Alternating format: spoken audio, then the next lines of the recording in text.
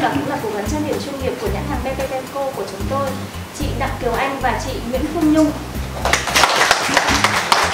Vâng, đây chính là thành phần ban giám khảo trong suốt hơn 2 tháng qua đã chấm điểm cho các bạn à, và đồng thời cùng với sự phối hợp của tôi gửi sang để bên nhãn hàng Hàn Quốc để có được kết quả cuối cùng trong ngày hôm nay. À, và về phía thành phần quý vị quan hết xin được giới thiệu nhà báo Nguyễn Thị Kim Trung. Kim Trung hiện nay đang là nhà báo chí Thời trang trẻ, một trong những tạp chí đầu tiên định hướng về phong cách và thời trang cho thanh niên Việt Nam. Chị Bùi Thị Huyền đến từ báo Thanh niên Việt. Nhà báo thứ ba có mặt trong buổi lễ của chúng ta ngày hôm nay đó là nhà báo đến từ tạp chí đầu tiên, một trong những tạp chí đầu tiên định hướng về phong cách thời trang cho giới trẻ, bạn Thám Hải Yến.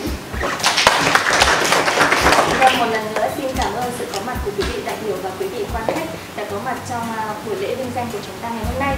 Và trước khi lễ trao giải của chúng ta được chính thức bắt đầu, tôi xin được trân trọng giới thiệu anh Phạm Văn Đan, Tổng Giám đốc Công ty trách nhiệm hữu hạn dịch vụ Việt An Phú lên có đôi lời phát biểu à, với à, toàn thể quý vị và các thí sinh của chúng ta. Xin mời anh ạ.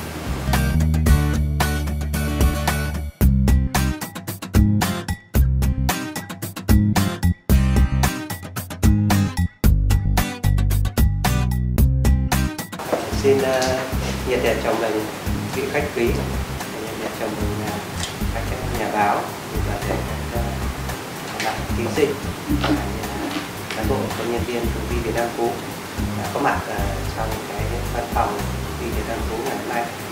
Uh, chúng tôi uh, xin được gửi lời cảm ơn đến tất cả quý vị đã bớt cái thời gian và lặng mình để đến tham dự cái buổi lễ ngày hôm nay chân thành cảm ơn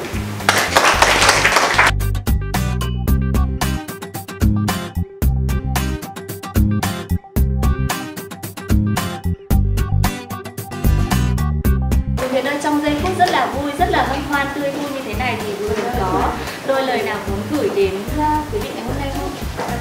À, lần đầu tiên thì em xin uh, được cảm ơn Liên Việt Nam cũng như là các anh chị trong ban tổ chức cuộc thi đã tạo nên cuộc thi lành mạnh như thế này để em có cơ hội ở đây và nhận phần quà này. Và em hy vọng là trong tương lai sẽ được hợp tác lâu dài cùng cũng là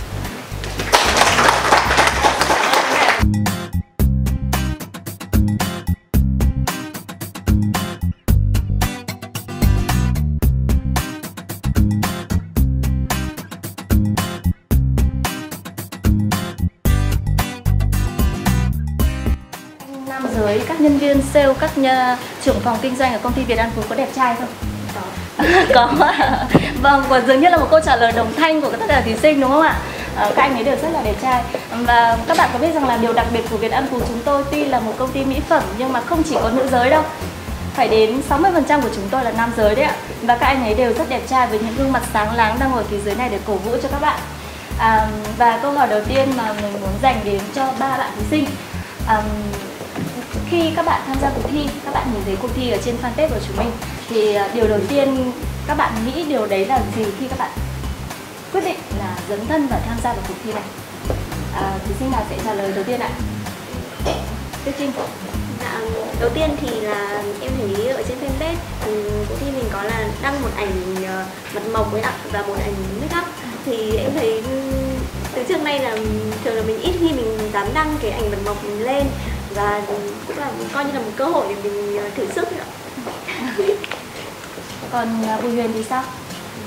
Em đầu tiên là khi mà em tham gia vòng thứ nhất ấy, thì là em tình cờ tình rất là tình cờ đầu tiên là xem được bài thì em cũng chỉ tham gia thấy một người tham gia em cũng tham gia thôi và lúc đấy cũng không có hy vọng là sẽ được một cái đâu Thế còn Trà My thì sao? Em chỉ đang suy nghĩ thôi ạ vì khi nhìn thấy em À, quý vị có biết không, ngay từ đầu khi mà thể lệ của chúng ta rằng là mỗi thí sinh hãy dự thi bằng một ảnh mộc và một ảnh sau khi make up thì các thí sinh của chúng ta với một cái tư tưởng có thể rất là nhiều người comment ở trên fanpage là gì ạ?